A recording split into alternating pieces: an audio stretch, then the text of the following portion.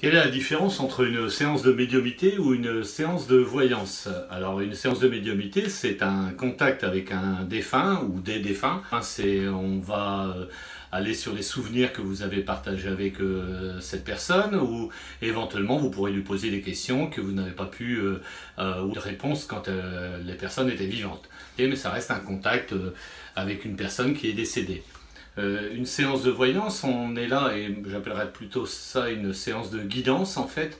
L'idée c'est de plutôt vous, vous aider à, sur le chemin de votre vie, en fait, que ce soit ou matériel ou sentimental. Et, euh, et moi je travaille en fait, il y a plusieurs styles de voyance. Il y a des voyants qui vont plutôt pratiquer avec des cartes ou avec des, euh, des tas d'outils pour s'aider. Moi, je suis plutôt sur un, système de vision, de, de, flash, de voyance pure, quoi.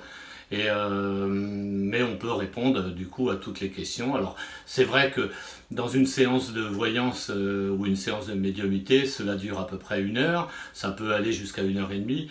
Généralement, on arrive euh, dans une séance de voyance à avoir des contacts médiumniques et dans une séance de, de, médiumité, on peut aussi répondre à quelques questions que vous vous posez. Voilà, j'espère avoir répondu à la question entre la voyance et la médiumité et, euh, et à bientôt.